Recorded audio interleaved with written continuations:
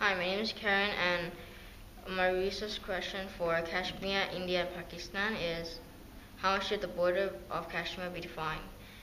The location of Kashmir is in between India and Pakistan.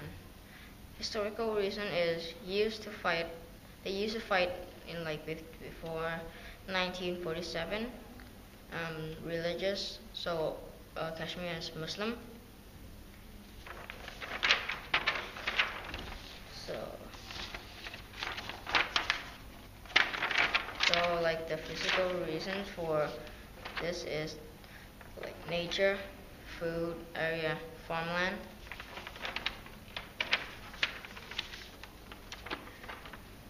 Um, so why they feel entitled to it? For India, Maharaja Singh, uh, Hari Singh, the ruler of Kashmir, chose to join India in exchange for military protection.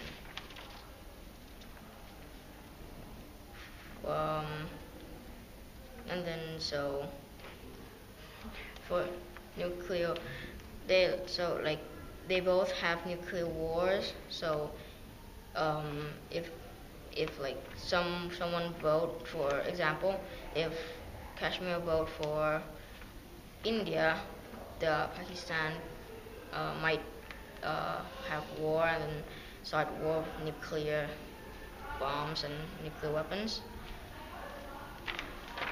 For Pakistan is majority of Kashmir and are Muslim. Pakistan is Muslim too.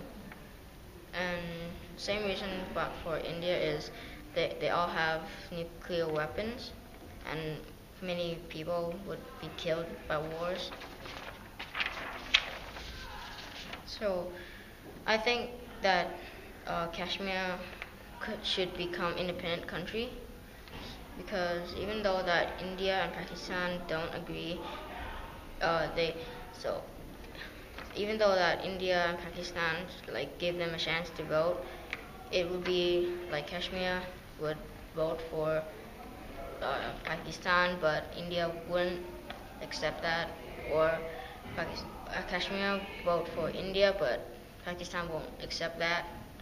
So I think that sh it should be independent. The um, uh, but this would end the conflict if if if Kashmir would be independent country.